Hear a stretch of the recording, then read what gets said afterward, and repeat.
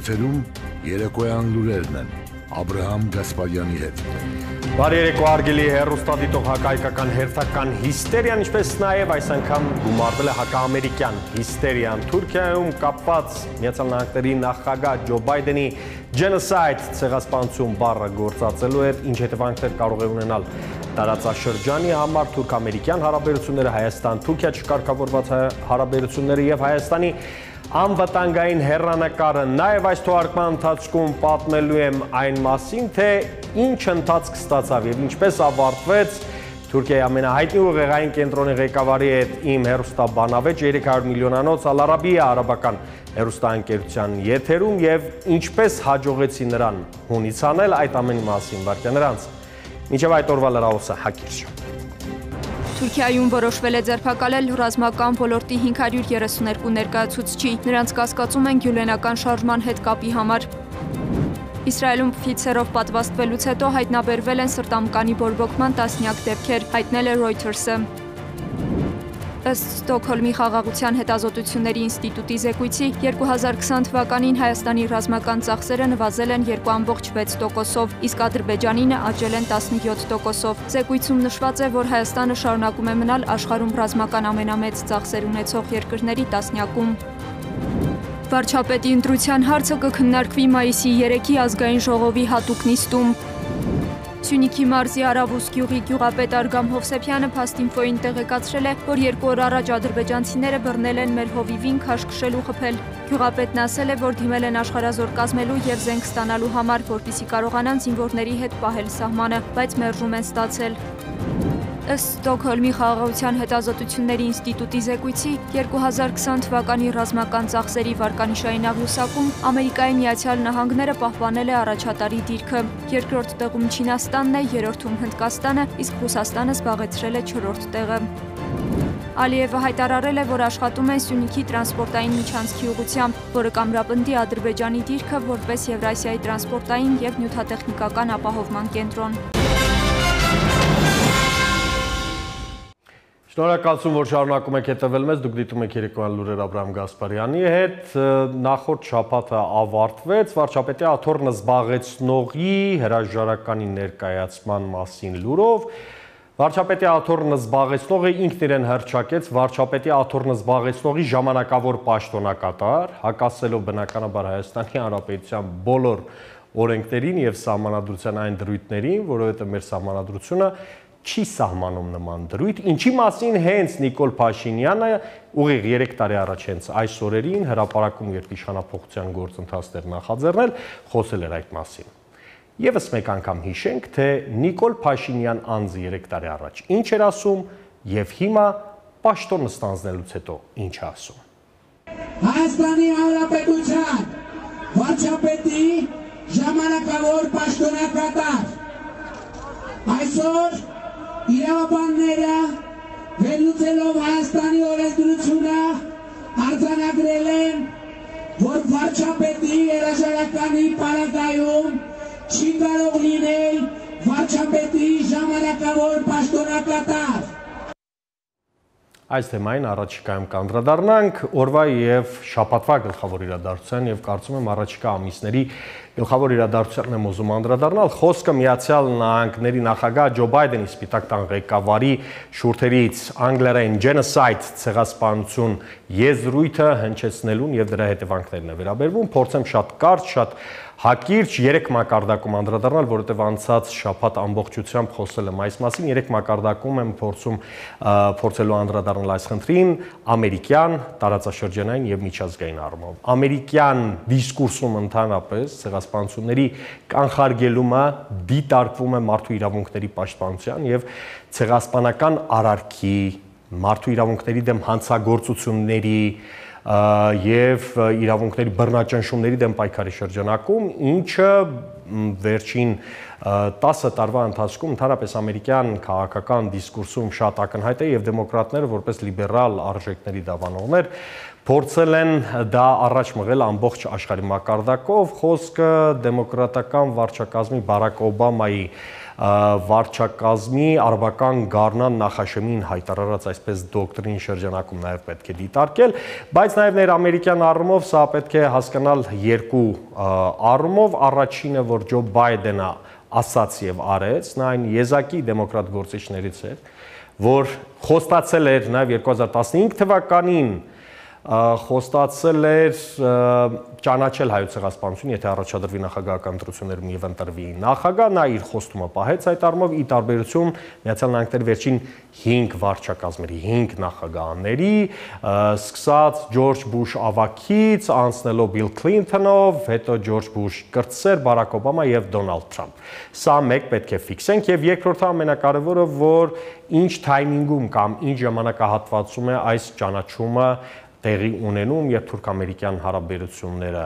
սրացման ֆոնին են, երբ Թուրքիայի ներսում տնտեսական աղետալի, այսպես վիճակ է, թուրքական լիրան շարունակում է գահավիժել, սրընթաց անկում է ապրում, թուրք-ռուսական հարաբերությունների դինամիկայում է փոփոխություն նկատվում հարավկովկասյան տարածաշրջանի նկատմամբ, ամերիկյան նոր տարածաշրջանային ճարտարապետության մոտեցումներ են առաջ գալիս մի խոսքով սա ներամերիկյան մակարդակով եւ տարածաշրջանային մակարդակով իսկ միջազգային առումով պետք է փաստել, որ աշխարհը COVID-ից հետո այն նույն աշխարհը չէ, ինչ ինչին մենք սովոր էինք մի քանի տարի առաջ, բնականաբար հիվանդության տարածման, վիրուսի տարածման հետ կապված համաշխարհային տնտեսության տենդենսները, անդրազգային կորպորացիաների ավելի ակտիվ ներգրավումը շատ ավելի ազդեցիկ է դարձել մեր տարածաշրջանում, այս բոլորը դետալներով փորձելու եմ քիչ հետո parzել հայդատի եւ ընդհանրապես ամերիկյան ճանաչումների լավատեղյակ մասնագետի հետ մինչև այդ առաջարկում եմ դիտել իմ գործընկեր Անա Սարգսյանի պատրաստած ռեպորտաժը, որտեղ նա ցույց է տալիս Հայաստան-Թուրքիա հարաբերությունների հնարավոր հերանեկարը եւ ինչու մենք պիտի ողքեվորվենք կամ չողքեվորվենք այս փաստով եւ ինչ ունի անելիք Հայաստանը, արդյոք կկարողանանք մենք օգտագործել այս շանսը հայ-ամերիկյան հարաբերությունների նոր օրակարգ ձևավորելու եւ տարածաշրջանում գործիքից վերածվելու գործոնի։ Դիտեք ռեպորտաժը։ Թուրքերը ցեղասպանություն իրականացրած ժողովուրդ են, սա այսուհետև գերհզոր Ամերիկայի դիրքորոշումն է։ Միացյալ Նահանգների նորընտիր նախագահը պաշտոնապես ճանաչեց հայոց ցեղասպանությունը։ Սա քաղաքական հստակ գնահատական է եւ հիմք իրավական գործընթաց սկսելու համար, իսկ թե ինչ կտա մեզ Ամերիկայի ճանաչումը, ամերիկագետ Սուրեն Սարգսյանի խոսքով կախված է մեր ունակություններից ու դիվանագիտությունից։ Սա կարող է արդեն դառնալ շղթա ճանաչումների շղթա Լատինական Ամերիկայից սկսած մինչև Եվրոպական միության երկրներ, ովքեր չեն ճանաչել հայոց ցեղասպանությունը, սա ամենակարևոր նախադեպն է եւ ամենակարևորը նաեւ մենք սա պետք է Թուրքիայի հետ հարաբերություններում որպես ճնշման մեխանիզմ օգտագործենք, կիրառենք եւ գնանք այն ճանապարհով, որ մենք կարող ենք ճնշում գործադրել Թուրքիայի վրա, եթե անհրաժեշտություն լինի ինչ-որ բանակցություններ սկսել։ Ինչ փոխվեց Ամերիկայի կյանքում ու ինչու հիմա որոշեցին գենոցիդ բառն արտասանել փորձագետի խոսքով միջազգային քաղաքական վիճակներ բարենպաստ, որից էլ օգտվեց հայ համայնքն ու հայ դատը։ Միջազգային խաղացողները բնականաբար առաջին հերթին Միացյալ Նահանգները ցանկանում են պատժել Թուրքիային ամենատարբեր գործողությունների համար, Լիբիայում քայլերի համար, Սիրիայում նրա քայլերի համար, քաղաքականության համար, Իրաքում, Մերձավոր Արևելքում ամբողջությամբ Սև ծովում Հունաստանի հետ հարաբերություն, այսինքն շատ խնդիրներ կային, որոնք կուտակվել են եւ սրանով ըստ էության նաեւ պատժում են ոչ միայն Թուրքիային, այլ նաեւ Թուրքիայի նախագահին։ Էրդողանի ու ընդդիմության միջև գզվրտոսն էլ նոր երանգ է ստացել Բայդենի ելույթի համար մեղադրում են Թուրքիայի բռնապետին աշխարհի նկատմամբ բացահայտ նկարտումների համար։ Թուրքիան հիմա պրոբլեմատիկ է ոչ միայն Ամերիկայի, այլև ՆԱՏՕ-ի համար, սա էլ առիթ է Թուրքիայի սանձերը քաշել է պետք, քանի դեռ այն բավականաչափ խոցելի է ու շփոթված։ Աննա Սարգսյան, Սուրեն Պողոսյան, Armnews Շնորհակալություն, որ շարունակում եք հետևել մեզ, դուք դիտում եք երեկոյան լուրեր Աբրամ Գասպարյանի հետ, հայոց ցեղասպանության ամերիկյան ամբողջական լիարժեք ճանաչման հետևանքների, իրողությունների, տարածաշրջանային հնարավոր նոր դրսևորումների մասին զրուցելու եմ հայապական դաշնակցության բյուրոյի անդամ Հույդա Հայդատի եւ քաղաքական հարցերի գրասենյակի պատասխանատու Կիրո Մանոյանի հետ բարև ձեզ պարոն Մանոյան ամբողջացավ ցիկլը օրենսդիր մակարդակ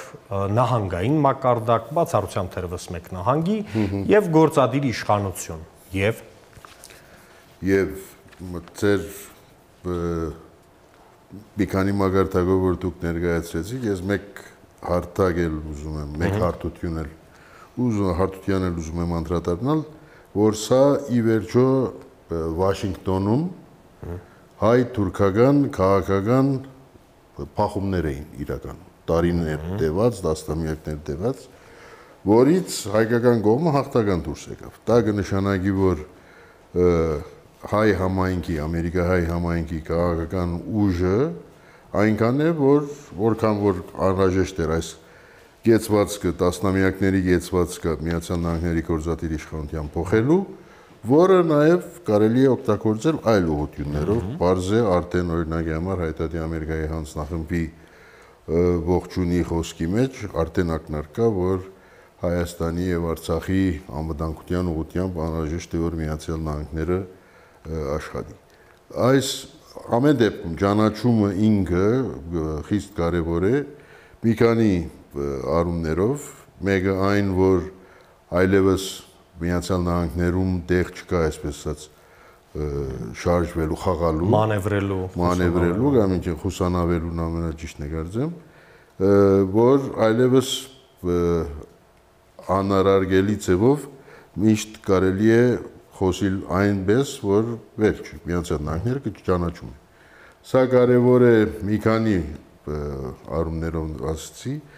մեկը հենց Միացյալ Նահանգներում որոշ այլ օրենսդրական նախաձեռնություններից հետո, որոնք նահանգային մագարտակով կարող են լինել, բարդատիր չէ որ դաշնային ֆեդերալ մագարտակով լինեն, ցեղասպանության զոհերի վերաբրողների ժառանգները կարող են հատուցման հատուցման համար դատական գործել հարուցել, գործեր հարուցել։ Կային հարուցված գործեր, որովհետև կար Կալիֆոռնիայի օրենք, որի հիման վրա այդ դատական գործերը ամերիկյան դատարաններում հարուցվում էին, բայց այդ օրենքը ասում էր հայոց ցեղասպանության զոհերի կամ վերաբրողների ժառանգների ժառանգների իրավունք ունեն։ Եկավ մի բախ, մի քանի կորձ եղավ, մի եկավ մի բախ, որ գոմերից մեկը բողոքեց եւ վերակնիչ դատարանը ասաց, որ խոսքը գնում է հայոց ցեղասպանության մասին, հայոց ցեղասպանությունը արտաքին քաղաքականության հարց է,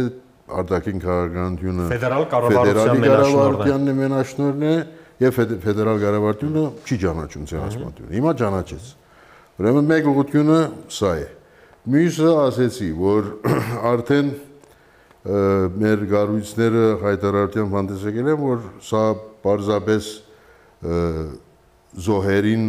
սկալու, հարկելու հարց չէ, սա նաև անվտանգության խնդիր է։ Իհարկե։ Եվ անհրաժեշտ է, որ Միացյալ Նահանգները տարածաշրջանում սկսի իր քաղաքականությունը ճշտել, սրբակրել, restart անել, հաշվի առնելով, նույնիսկ մերոնց ասածը նախապատվություն դարով, առաջնահերթություն դարով Արցախի եւ Հայաստանի անվտանգության եւ գայուն կենցաղին, որ Ինչ կորելացիա կա, մենք միշտ միշտ կարող ենք վիճել, բանավիճել այդ հարցում, բայց Հայաստանի իշխանությունը իր արտաքին քաղաքական օրակարգից հանել է ցեղասպանության ճանաչման խնդիրը եւ վերջին մի քանի տարվա ընթացքում մենք տեսանք հայ-թուրքական Հայաստան-Թուրքիա ավելի շուտ այդ սիրախաղը, տարբեր մեսիջները երկու կողմից որ գալիս են։ Արտգործնախարարության պաշտոնական կայքում ընդཐུպ մեր արտաքին քաղաքական ճակերտավոր դոկտրինից դուրս է եկել փաստը, որ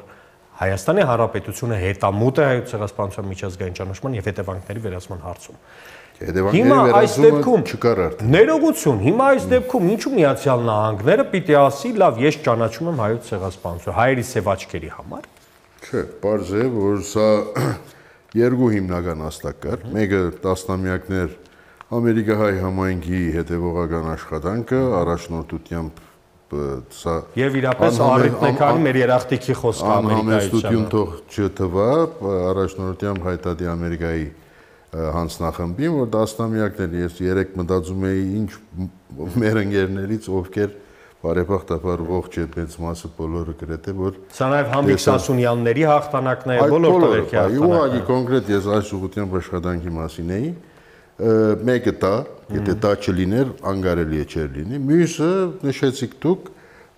Թուրքիա Միացյալ Նահանգներ հարաբերությունների սրված վիճակը, որը այլևս անիմաստ էր դարձնում այն հիմնավորումը,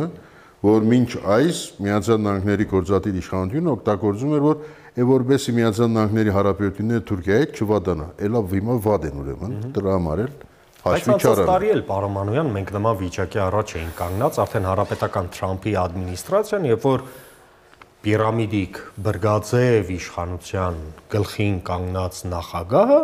պարզապես իր մեծամասնությամբ եւ կոնգ- կոնգրեսի երկու պալատներում անցկացրեց օրենքը, որովհետեւ այդ ժամանակ Կա լարվածություն Այս կա, 400-ի սանկցիաներ դրվեցին նույն իշխանության, այսինքն ճիշտ է, որ եթե կորզատիրը շատ բնթեր անցած ն- 2019-ի վերջավորության ը, սենատում միացայնությամբ չէր անցնի գանցներ, բայց ոչ միացայնությամբ ներկայացուցիչների բալադում էլ պատմական մե- մեծ մեծամասնությամբ անցավ, բայց ճիշտ է, այդ լարվածությունն է ժամանակի ընթացքին։ Մեկ կետ էլ որ կա, որ Բայդենը դրա բովի- բովից անցել է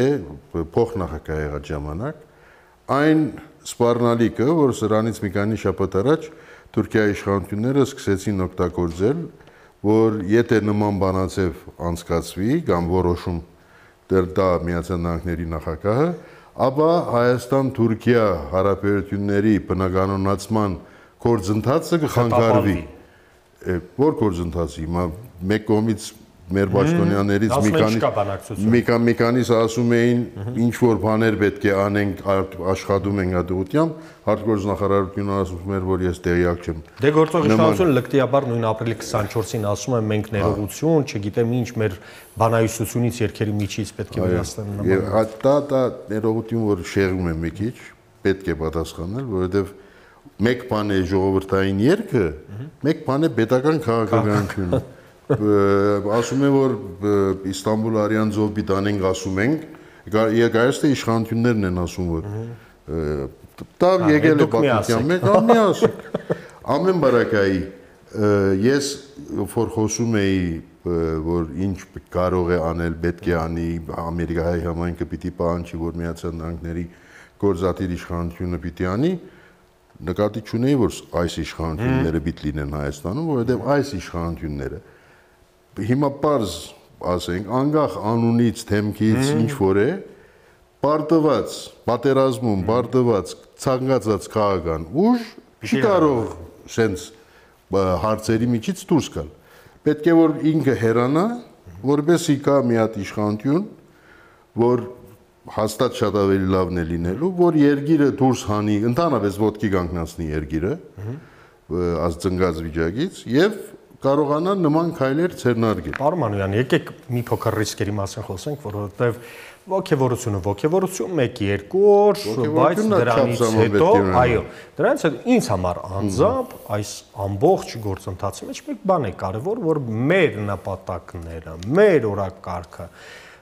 ձևակերպենք պահանջատիրական թղթապանակ, չգիտեմ, հետևանքների վերացում եւ այլն։ Մենք ինչ ենք անում։ Բայդենը ասաց, ասաց կամ մեկ այլ պետության նախագահ։ Մենք հո գիտենք պատմական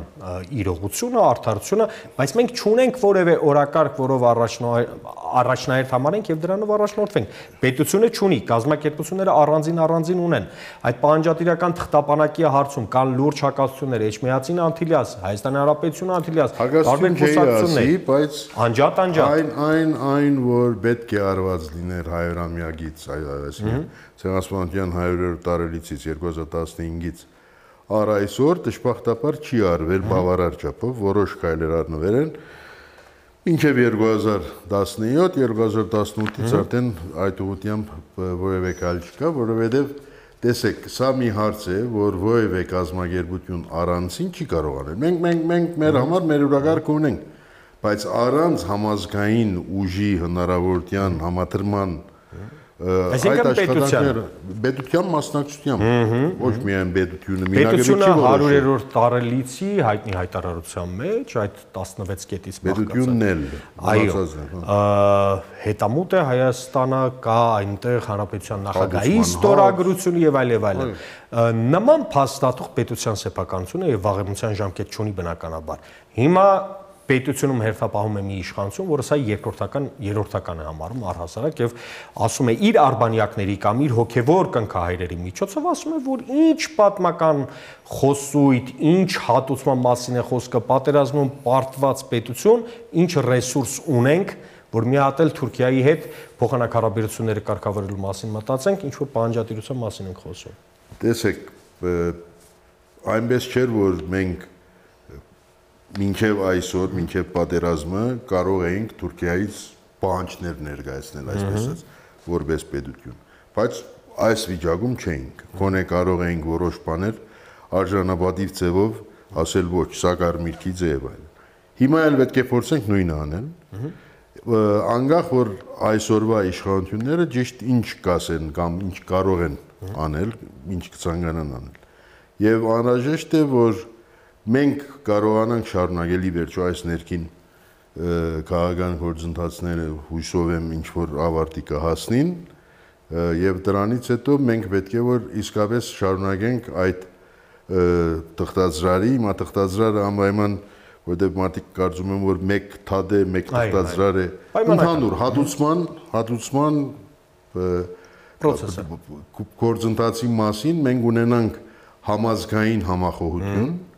դերերի բաժանում, որովհետև ամեն ինչ չէ որ պետությունը կարող է անել, շատ բաներ կան նույնիսկ չի կարող անել պետությունը ցանկության դեպքում էլ։ Դրա համար պետք է որ համազգային լինի, որ բոլոր մեր կորզիկագազմը օգտագործենք պետ- հայազգի ամբողջ հնարավորությունները եւ ով ինչ կարող է անել, պետք է որ համատրված ձևով լինի։ Պետք չէ այնպիսի ձևով քայլեր ձեռնարկվեն, որ հանգարց խոչընդոտեն, Մեկը մյուսի կա այդ մտահոգությունը։ դիցուկ այդ փաթեթը եղավ, չգիտեմ։ Պարզից էլ պարզ է, որ միայն մեզնով չէ պայմանավորված եւ միջազգային ուժերի, գերտերությունների ուժերի համադրման վրա էլ մենք պիտի աշխատենք, այսինքն մենք դաշնակիցներ պիտի ձեռք բերենք, որպես այդ փաթեթները փորձենք իրականություն դարձնել։ Ամերիկյան հետաքրքրությունները մեր տարածաշրջանում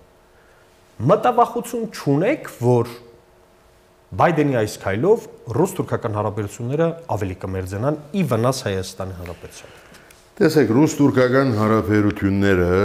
բարեփոխտաբար ը, առ այսօր չեն եղել ռազմավարական։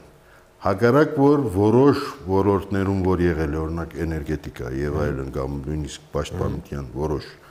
պաշտպանության կարող է համարվի որ ռազմավարական է։ Բայց իրականում ինչ է։ Թուրքիա, Ռուսաստան, Իրան երեքն էլ մրցակից են տարածաշրջանում։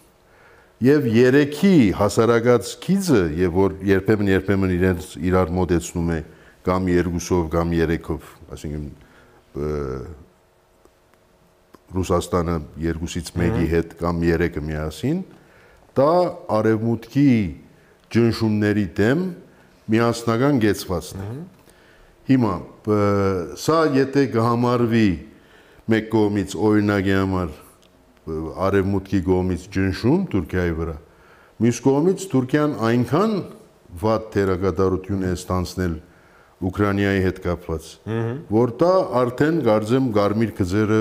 կաշեր է Ռուսաստանի համար, բազմիցս խոսել այդ Ը, մասին։ Բայց այսօր մեկ իրականություն կա, որ ցավոք այս իշխանությունները չեն կարող անել, ասեցի ոչ թե որովհետև մլավ տղակ են, վատ տղակ են, դրա համար չէ, այլ որովհետև բա- քաղաքականություն Բարդված, բարդված քաղաքական ուժ է, դա էլ հայ-ամերիկյան, Հայաստան-Ամերիկա հարաբերությունները սերտացնել, բայց այս դեպքում ոչ ի հաշիվ հայ-իրանական, ոչ ի հաշիվ հայ-ռուսական Այսինքն հարաբերությունների դարձի շրջանը սյուր մինչև 18 թվականի վիճակը Մոտավորապես, բայց քանի որ ամերիկյան թուրք-ամերիկյան հարաբերությունները վատ են, ի հաշիվ դրան Հայաստանը դուք կարող է որ եք գուցե Բոլթոնի այցը տարածաշրջան հայտնի հայտարարությունը եւ գործող իշխանության այսպես ֆիասկոյի ենթարկված դիվանագիտություն եւ քաղաքականությունը, որը սկիզբ դարձավ Արցախյան վերջին պատերազմում Արցախ Իրան սահմանային գոտու կորստին մեծ հաշվով։ չեմ մորցած, բայց ես ասում եմ, ես ինչ որ ասում եմ, այս իշխանությունները նկատի չունեմ, Դրանք չեն գնան։ Է պիտի կնան հույսով եմ, եւ բայց կա այդ հնարավորությունը, որ հայ Հա- Հայաստան-Ամերիկա հարաբերությունները սերտանան եւ առանց վնասելու Ինչ օրակարգի շուրջ, պարոն Մանույան։ հեն Տեսեք, նույն տարածաշրջանի գործող իշխանությունը հազար ներողություն։ Մեր երկիրը հանել է աճուրդի վաղուց, անվտանգությունը ռուսներին,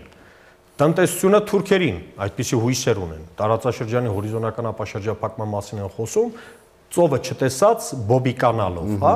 ինչ որ խոստումներ Ամերիկան որտեղ է։ Մենք մեր բոլոր դաշնակիցներին, մեր բոլոր բարեկամ գործընկերներին վանել ենք մեզնից ՀԱԿ Մինսկի խմբի երանախագահներից սկսած։ Մենք չունենք հիմա դիվանագիտություն, զրո ընկերների, զրո դաշնակիցների հետ։ Ինչ միացյալ նահանգները պիտի գա այս տարածաշրջան։ դուք շարունակում եք նկատի ունենալ այս իշխանությունները։ Բայց մենք խոսում ենք այսօրվա, որովհետև Այսօր այսօր է, པարզ է, բայց այս իշխանությունները ոչինչ էլ չի լինի։ Այսինքն շատ խոսելի բայց չեն իրենց ունենա օրոք հիմա։ ընդունեց եւ գուցե հաջորդ շաբաթ Նիկոլ Փաշինյանը 100 փաստի մեջ իր հերթական ասի, որ Բայդենի վրա ջնշում են գործադրել։ Հետ հետ կապ չունի։ Ոչ մի կապ չունի այս իշխանությունների հետ։ Հայաստանի հետ այնքան, այսինքն Հայաստանի ազդեցությունը գա այնքանով, որ Հայաստանը իր արտաքին քաղաքականության մեջ 98 թվականին երկրորդ նախագահի Քոչարյանի ը, օրով արտաքին քաղաքականության առաջնահերթություններից մեկը համարեց ցեղասպանության ռուս-ամերիկյան հարաբերությունների սերտացմամբ կամ բարեկամության նոր տենդենսով է պայմանավորված նաև հայ-ամերիկյան հարաբերությունների կարգավորումը։ այդ հնարավորությունը կա, որովհետև Միացյալ Նահանգները եւ Ռուսաստան ինչքան էլ ցկտված լինեն հարաբերությունները, երկուստեք կարծեք կա ցանկություն, որ դա չհասցնեն փախումների, քաղաքական փախումների մասին է խոսքը, այսինքն եւ փորձեն մրցակցության սահմաններում բահել։ Եվ մեր տարածաշրջանի համար, ոչ միայն Հայաստանի համար, ընդհանրապես մեր տարածաշրջանի համար, մեր տեսանկյունից մրցակցությունը լավ է, մեծերի մրցակցությունը։ Որից մենք պետք է օգտվենք։ որ հնարավորություն կա քիչ ման մանևրելու, քիչ առաջ որ ասում էինք, բայց բախումը խոսքը ֆիզիկականի մասին չէ, էլի այսպես արջագադումը կամ մեր հետ ես կամ մեր թեմ ես, սենց դա վատ է բոլորիս համար տարածաշրջանում, որովհետև ալտեն պետք է ասենք, որ ստիպված ենք ասել սրա հետ ենք, ուրեմն դրա թեմ ենք։ Այդպես եթե այդ վիճակը չստեղծվի, որ այսօր այդ վիճակը չէ, ճիշտ եք, այսինքն, որ կա հնարավորություն, քանի որ այն հագարակ որ Թրամփը եւ Պուտինը շատ լավ ընկերներ էին թվում, բայց ռուս-ամերիկյան հարաբերությունները այդպես Այդպես չէին։ չլավացան։ Պարոն Մանույան, վերջին 15 տարվա կտրվածքով եմ ուզում դիտարկենք խնդիրը։ Ռուս-ամերիկյան հարաբերությունների բարելավման պայմաններում հայ-ռուսական եւ հայ-ամերիկյան հարաբերությունները լավ էին ընդհանուր առմամբ։ Սկսվեց ֆուտբոլային դիվանագիտություն կոչեցյալ process-ը, որի մեջ Ռուսաստանը ուներ իր ուրույն խոսքը եւ դերը։ Ես Անկախ ամերիկյան կողմի, անկախ ամերիկյան կողմի Զուտ կամ ամերիկյան երադամբող չէ։ բայց Ռուսաստանի օրհնությունը եթե չլիներ, այդուհանդերձ կարծում եմ կտապալներ։ Ռուսաստանի օգնությունը ըստիս Ռուսաստանը Հիմա հարցը- որովհետև Լավրովը Լավրով է Տիվանակետ իմաստով ինչ որ ժամանակ անց սկսեց ցույց տալ որ չէ մենք էլ ինչ որ բան անում ենք բայց կա Այդուհանդերձ նրանց խավորությամբ եղավ պարոն Մանոյան։ Կարողությունը վերջավորության է, բայց սկիզբը իրենք էլ իսկապես Շատ դերյակ բարի 2000 թվականին էլ հայ-թուրքական հաշտեցման հանձնաժողովը մաքուր ամերիկյան նախաձեռնություն Այս այլ պետ մակուր ամերիկյան դեպարտամենտ է։ նախաձեռնություններ Հիմա մտավախություն չկա, որ Ռուսաստանը, որը Արցախի անվտանգության բլոկի մի պատասխանատուն է, Հայաստանի հարավի անվտանգության հնարավոր երաշխավորն է լինելու, ռուսների ռուսներն ու թուրքերը կանգնեն իրար հետ ասեն, որ եկեք վերջացրեք այս ամեն ինչը։ Հիմա արդեն խոսվում է այդ մասին, Ահա։ որ Հայաստանի իշխանավորների այդ թրկամետ հայտարարությունները ինչ որտեղ խրախուսվում են Ռուսաստանի կողմից։ Կարող է եւ այդպես է,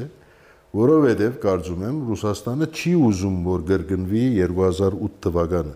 որ անկախ իրենից այս տարածաշրջանում Հա, վերահսկելի պրոցես։ Աջիշտ։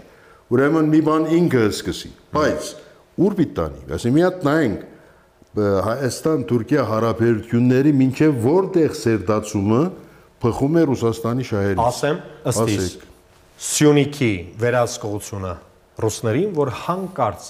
թուրքերը Բոսֆորի եւ Դարդանելի նեղուցների նկատմամբ վարեն ոչ բարենպաստ ՆԱՏՕ-ով պայմանավորված պրոռուսական քաղաքականություն ինքը կարողանա վերահսկել այս տարածաշրջանը եւ պանթուրանիզմի, պանթյուրքիզմի գոտի Բայց դա երբեք վերահսկի։ չի նշանակելու, որ մի օր էլ կարող է ասի, որ ուրեմն ես էլ Սյունիքը կտամ Բայց մենք չկանք այս ամեն ինչի մեջ, պարոն Մանույան։ Էլի խոսում ենք այս իշխանությունների մասին հարց է, բայց այսինքն եթե մենք թադում ենք կամ հաշվում ենք, որ Ռուսաստանը ինչ է ուզում, ինչ է հետապնդում, այդտեղ ես կարծեմ, որ պարզ է, մենք եթե հանգարց գոյություն չունենանք, փաստացի ոչ թե իրավականորեն դե յուրե գոյություն չունենանք, բայց տարածաշրջանում ոչինչ անող չլինենք Հայաստանը, որ այսօր այդ վիճակն ենք դժբախտաբար, է հագարելի է որ ուրիշները մեր հաշվին շատ բաներ որոշեն եւ Երբ մեր մասնակցություն չի տարբերակներ- լինում, մեր փոխարեն են որոշում։ տարբեր տարբերակներ որ գտնեն, բայց չեմ կարծում որ Ռուսաստանի շահերից կփխի, որ տարածաշրջանում Թուրքիայի ազդեցությունը այնքան մեծանա, որ Հայաստանը ասի որ վայ, ես ինչ հանգիստ եմ զգում ես Թուրքիայի հետ, ռուսներ ջան հերացեք էլի։ փորձենք ամփոփել պարոն Մանոյան ինչպես ճիշտ գործածել ամերիկյան այս սիգնալը ի վերջո այ եւս մեր երախտիկի խոսքը հայտնելով ամերիկայի լոբիին մեր մեր զույգ եւ բազմաթիվ լոբիստական կազմակերպություններին բայց այդուհանդերձ մեծ հաշվով դա նաեւ ամերիկ ամերիկահայության նվաճումն է եւ Հայաստանը փորձի այնտեղ առավելագույնը պիտի ճիշտ օգտագործի պահը եւ ձևավորի օրակարգ հիմա Ինչպես անել, որ այս ամենը ճիշտ գործածել եւ ամրապնդել հայկական զույգ պետությունների անվտանգությունը։ Փոխել այս իշխանությունները։ Ուրիշ ձև չկա։ Չէ։ Իշխանությունները կան չկան, ամերիկյան մշտական շահեր գոյություն ունեն մեր Չէ, տարածաշրջանում։ բարձ է, ուրեմն դրա համար պետք է որ հարաբերությունները Միացյալ Նահանգների հետ լինեն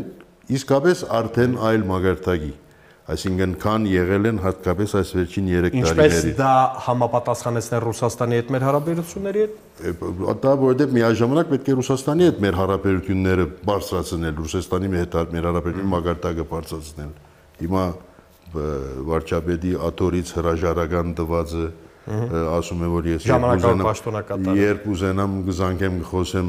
Ռուսաստանի նախագահի հետ, բայց դա, չի նշանակում լավ հարաբերություններ են, դա վատ հարաբերությունների Ինչ է սպասվում տարածաշրջանին շատ կարճ։ Ինչպես? Ինչ է սպասվում տարածաշրջանին։ Տեսեք, շատ մեծ մրցակցություն տարածաշրջանային 3 հիմնական ուժերի միջև՝ Իրան, Ռուսաստան, Թուրքիա։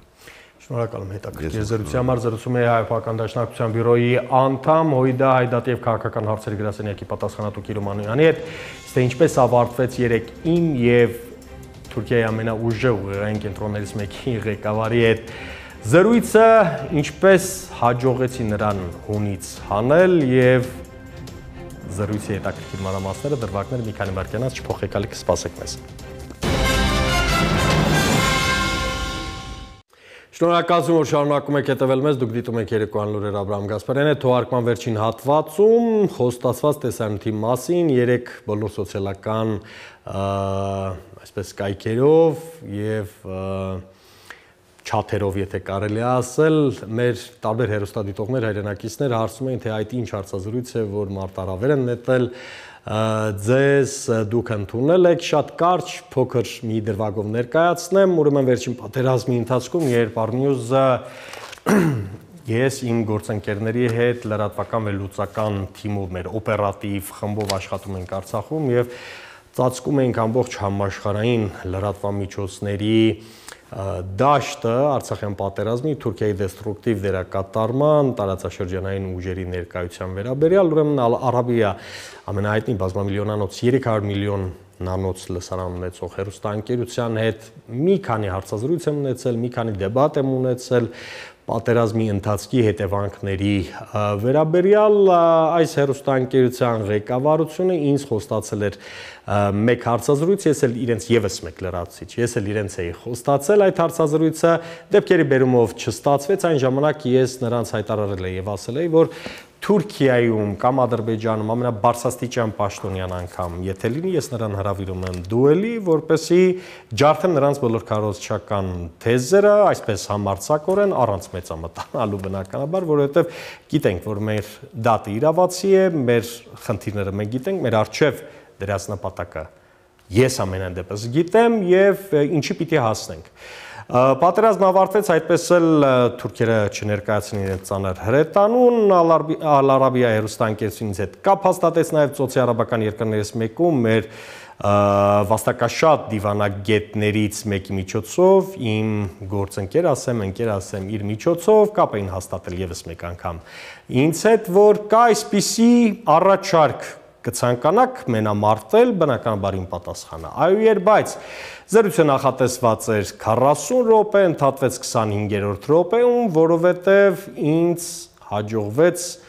ոչ միայն ջարդել թուրքական պաշտոնական թեզերը, որով Թուրքիայի ներկայացուցիչը եկել էր մերկացնել նրան պարզապես եւ զրույցի 3-րդ րոպեից նա անznատուր էր եղել, հանձնվել էր եւ զրույցը տարավ բնականաբար այլ ուղությամբ, անձնական վիրավորանքից, թե ինչ եղավ Դրանից հետո առաջարկում եմ դիտել հարցազրույցը ամբողջությամբ թարգմանված հայերենի, հայերենով, ներողություն։ Ես էլ ձեզ հրաժեշտ տամ խոստանալով հանդիպենք վաղը նույն տաղավարում նույն ժամին, պինտեղեք։ Ստամբուլ,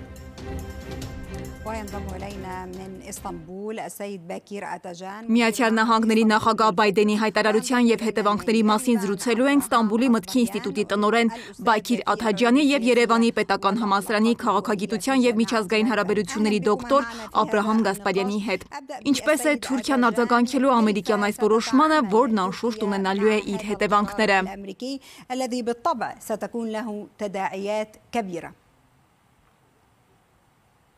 مساء الخير تحياتي لك ولضيفك الكريم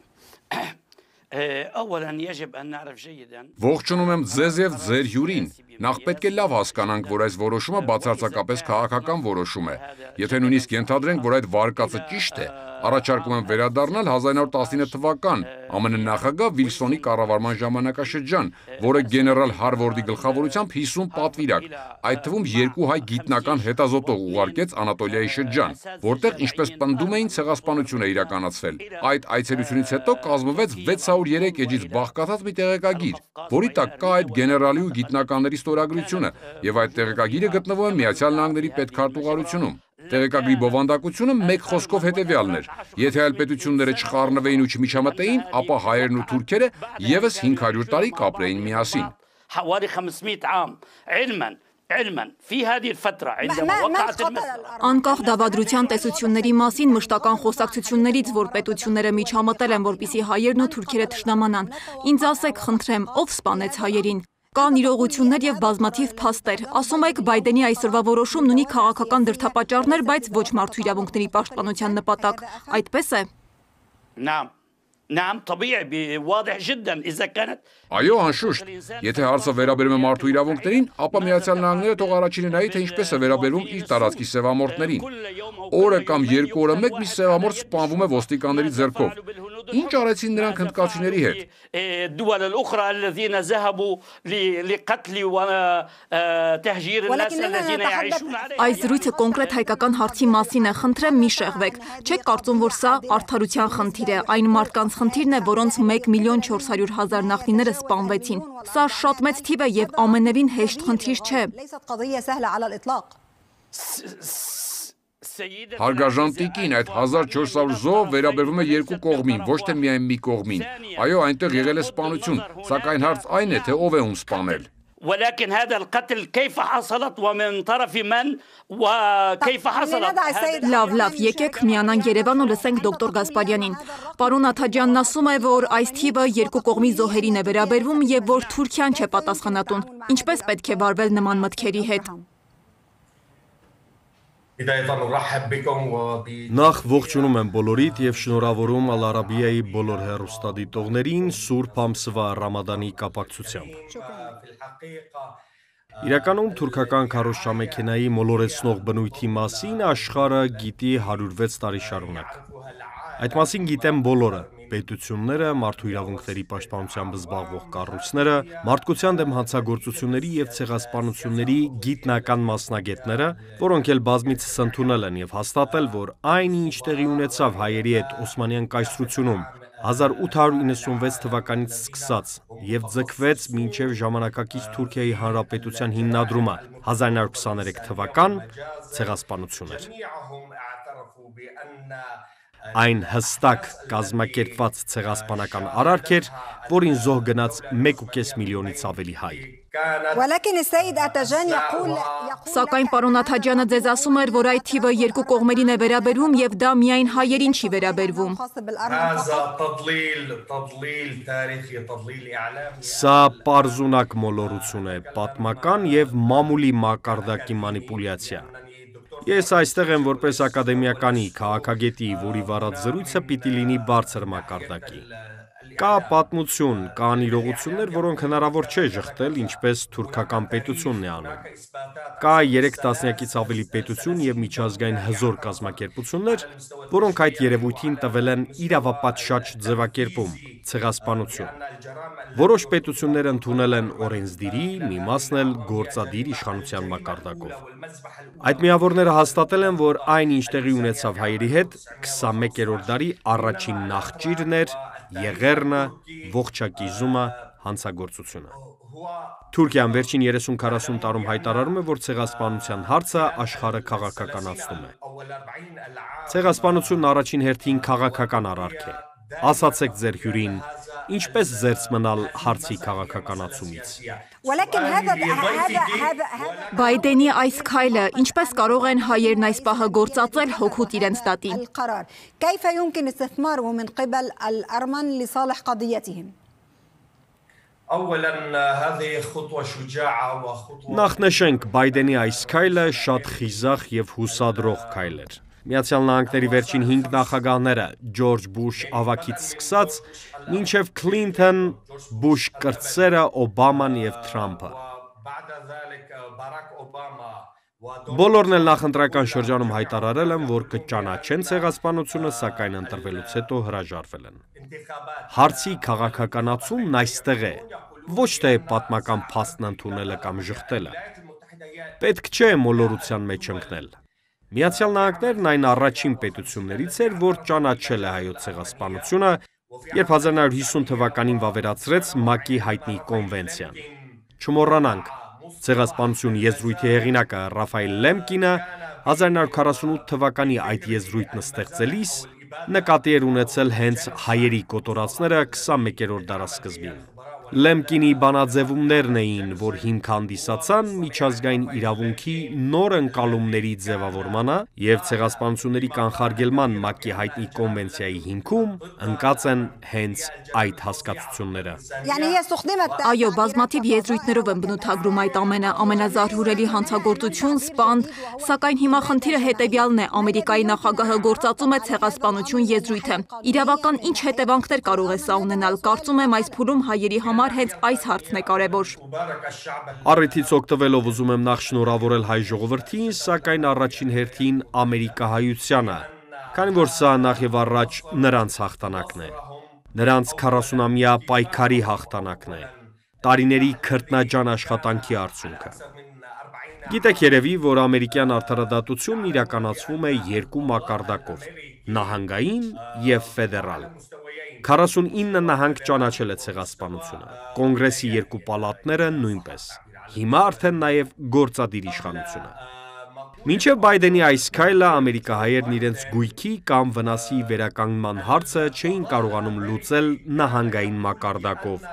քանի որ հանդիպում էին դատարանների պնդմանը, թե քանի դեռ ադմինիստրացիան չի ճանաչել այդ իրադարձությունները որպես ցեղասպանություն, Մենք չենք կարող ընթացք տալ Թուրքիայում կալվածք եւ գույք ունեցող հայերի իրավունքների վերականգնման հարցերին։ Հիմա այդ հնարավորությունը կարծում եմ կլինի։ Նախագահ Բայդենի այս քայլը հարավային Կովկասի տարածաշրջանի գեոքաղաքական նոր ճարտարապետության ձևավորման հիմք է։ Սիասա ֆի ալ-ջիոստրատեգիա في هذه المنطقة في منطقة جنوب القوقاز لندى السيد أتاجان يشاركنا الحوار لأن الوقت Պարոն Աթաջյան, եւ այդ քաղաքականությունը նոր իրողությունների առաջ է կանգնեցնելու Թուրքիային, ինչպես է Թուրքիան ու Էրդողանի վարչակազմը գործելու այս վերջին իրադարձության պայմաններում։ حكومة أردوغان مع هذا آم، آه، الحدث أو هذا التطور الأخير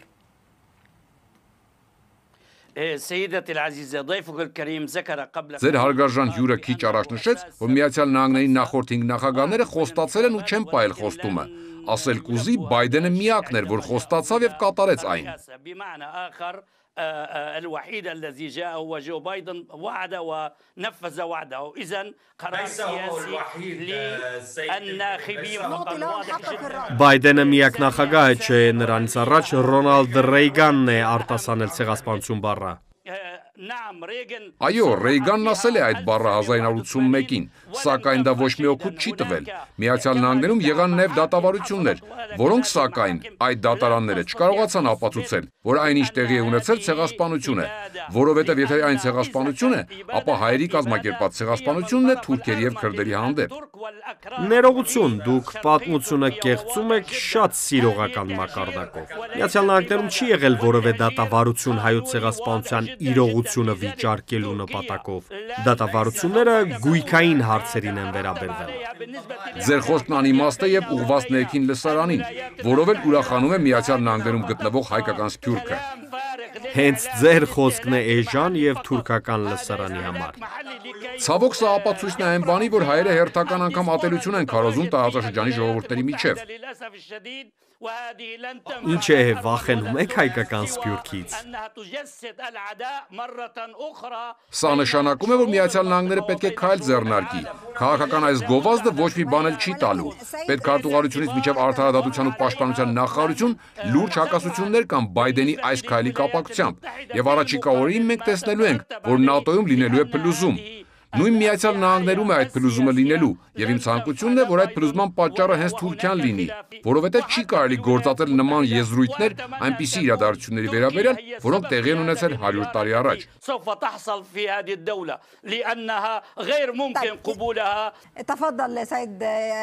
Շատ բարի, դոկտոր Գասպարյան, համեցեք, պատասխանեք առաջադրված թեզին։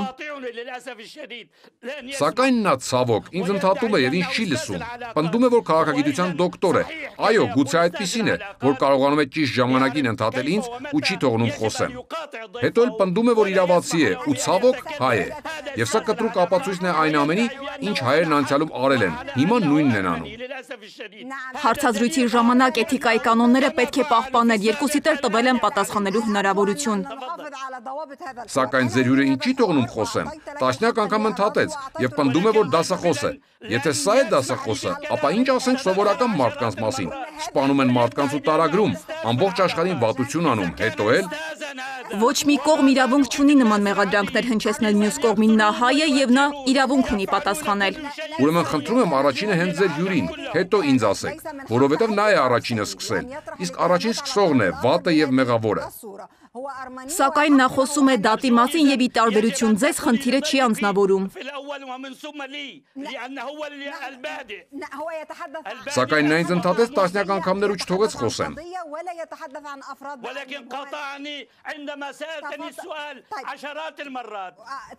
Համեցեք, դոկտոր։ Պահպանեք զրույցի էթիկայի կանոնները եւ մի անցեք սահմանը։ Քեզնից ենք սովորում, պարոն։ Ուզեք թե չուզեք, պիտի սովորեք։ Սա պարոն չէ, սա դասախոս չէ, սա գիտություն չէ։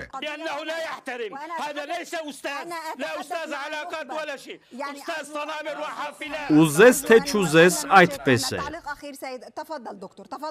Խնդրեմ, դոկտոր, պիտի խնդրեմ պահենք էթիկայի կանոնները։ Նույն բարբարոսությունը, նույն ռասիզմն ու թշնամանքը, որն Օսմանյան կայսրությունը ուղիղ 100 տարի առաջ ցուցաբերում էր հայերի նկատմամբ, Այսօր դարձյալ այն դրսևորվեց իդեմս ձեր հյուրին։ Մենք կարծես շեղվեցինք թեմայից եւ մեր հերոստատիտողը չպետք է նայի միմյանց մեղադրող խոսքեր։